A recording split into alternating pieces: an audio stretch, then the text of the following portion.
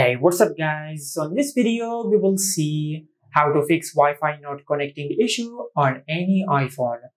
Now, to fix this issue, first of all, just swipe down from the top right corner of the screen and open the control center.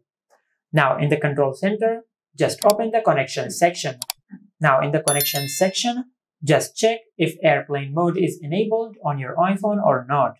Now, sometimes airplane mode might be accidentally enabled on your iPhone and this might be causing your Wi-Fi issues. Just disable it and check if this fixes your issue or not.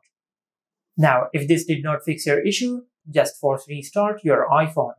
Now, to do that, just press and release the volume up button and the volume down button now just press and hold the power button until the screen of your iPhone goes black and the Apple logo appears on the screen. Now, once the Apple logo appears on the screen, just release the power button. Now, if this did not fix your issue, then open settings, then go to general. From here, you will find the option of VPN and device management. Just tap on it. And from here, just tap on VPN. Now, as you can see, there is no VPN connected to my iPhone. But if there is any VPN connected to your iPhone, just disconnect it from here. Now, after that, just go back. And from here, you will find the option of transfer or reset iPhone. Just tap on it, then tap on reset.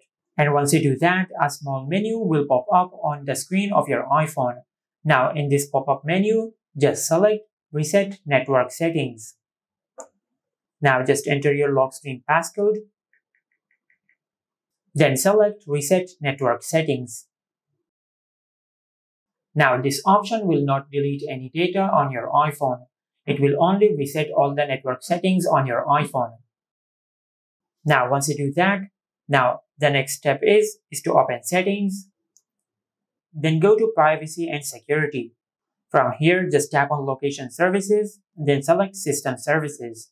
Now in this menu, you will find the option of networking and wireless. Now just disable this option, then select turn off. Now just wait for a few seconds, then turn it on back on your iPhone. Now if you have done all that and if this did not fix your issue, then you might have a hardware problem with your iPhone. Just take your iPhone to the nearest service center and they will fix your issue.